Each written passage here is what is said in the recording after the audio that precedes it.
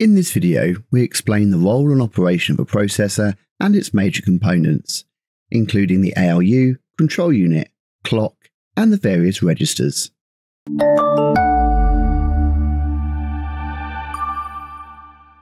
Here we see a highly abstracted view of the processor.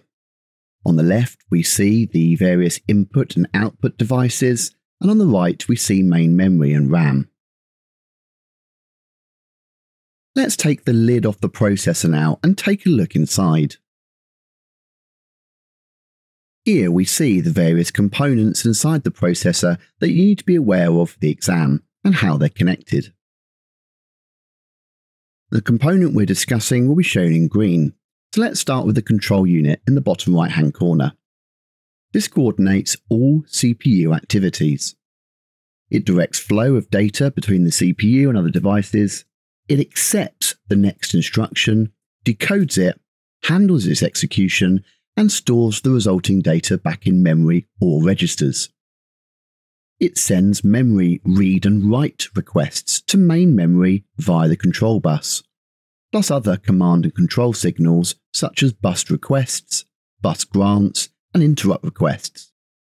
It makes extensive use of status registers and the clock. It effectively communicates and coordinates with all parts of the CPU as represented by the blue lines. Next, let's look at the program counter in the top left. Now, this register holds the address of the next instruction to be executed. Now, this could be the next instruction in a sequence of instructions, or it could be the address to jump to if the current instruction is a command to jump or branch, and we'd copy that from the current instruction register. That would happen in a programming sense if you'd written something like an if statement. It has a very close relationship with the memory address register. At the start of every new fetch decode execute cycle, the address held in the program counter is copied into the memory address register. So let's now take a look at the memory address register. This holds the address of the memory location from which data or an instruction is to be fetched from or which data has to be written to. And it sends this to main memory down the connecting address bus. The memory buffer register temporarily stores data that is read from or about to be written to memory. It is sometimes known as the memory data register, and it's often referred to as the gateway to the processor. All data to and from memory on the right must travel down the data bus and pass through the memory buffer register. The current instruction register, as its name suggests, holds the current instruction actually being executed. If the memory buffer register contains an instruction, its contents are copied to the current instruction register. It contains the opcode and the operands of the current instruction.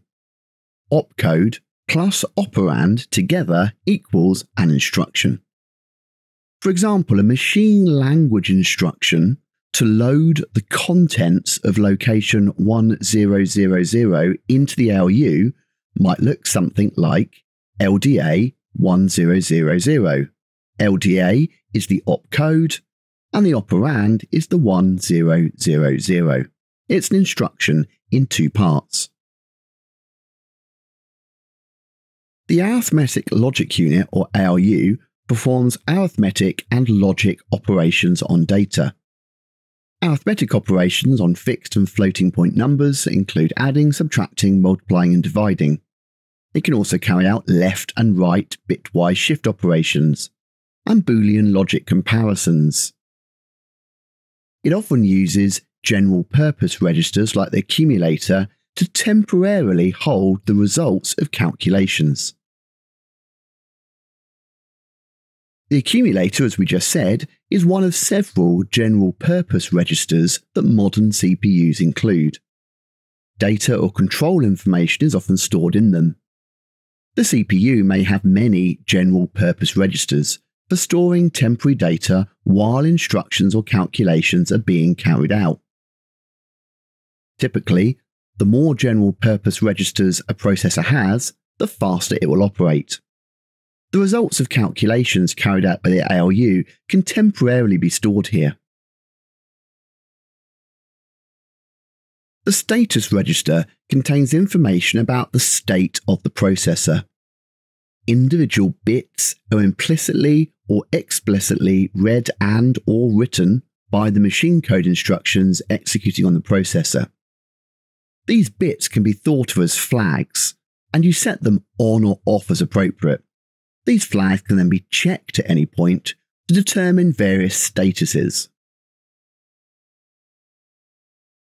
The clock is an electronic unit that synchronizes related components by generating pulses at a constant rate. The clock speed, measured in hertz, is the frequency at which the internal clock generates these pulses. Typically, the higher the clock rate, the faster the computer will work. Having watched this video, you should be able to answer the following key questions. What are the major components of a processor and what do they do? Well, they're all the components you need to know that are listed in the specification. But if you look on the internet and read around, you'll find a number of other components which haven't been listed here. So just for completeness, we're going to go over three components that aren't strictly in the AQA specification, which are still really useful to know about for a better understanding of the CPU.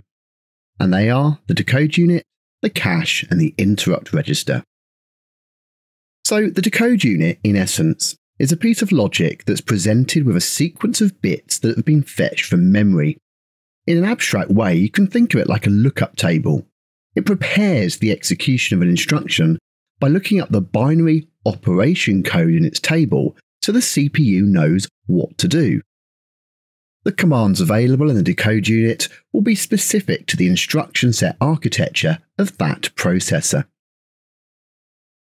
We also have the interrupt register, referred to as the interrupt control register. It is routinely checked by the CPU to see if there's an interrupt waiting to be processed.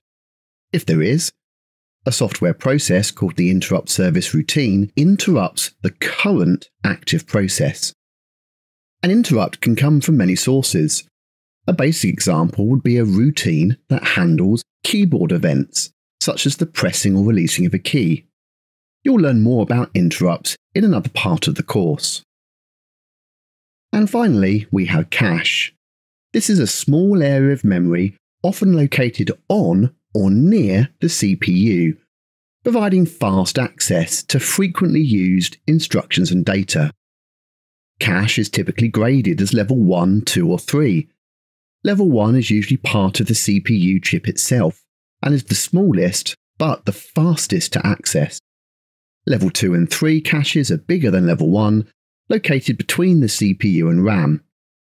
Sometimes level 2 is built into the CPU with level 1.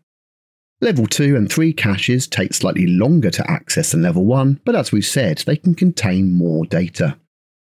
All cache is physically closer to the CPU than RAM and faster to access, but smaller in capacity.